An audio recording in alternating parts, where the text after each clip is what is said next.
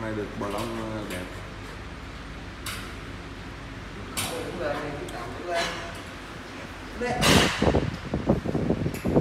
Đứng mông lên mập.